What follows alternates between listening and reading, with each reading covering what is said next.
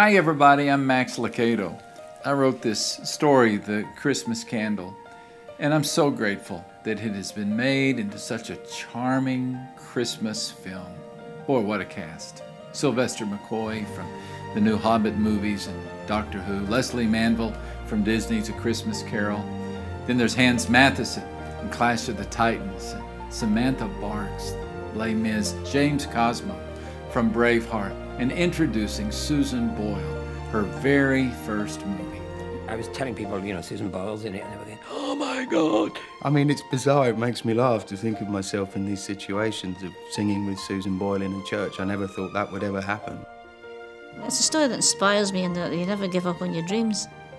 And you never, you never stop believing in miracles.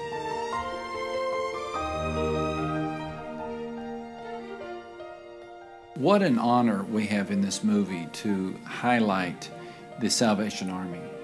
Ever since they began in the 1860s in England, they have been a source of hope and life for people all over the world.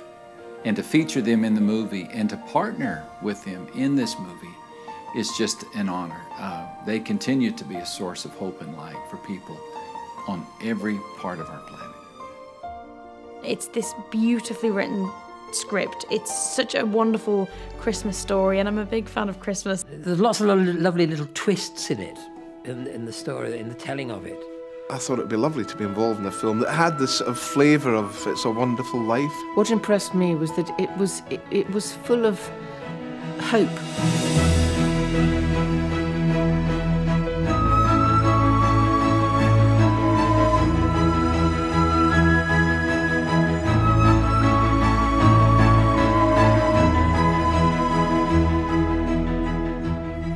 Story has this amazing way of showing the spirit of Christmas. You know, especially when you have kids and they open presents and it's all about the presents and everything, you kind of think, well, no, it's more than that. And we haven't had a kind of a Christmas film quite like that for a while, really. You have to go back to the 40s or the 50s. It's just a lovely story, you know, and what's nicer to have at Christmas than a lovely Christmas story? That's beautiful.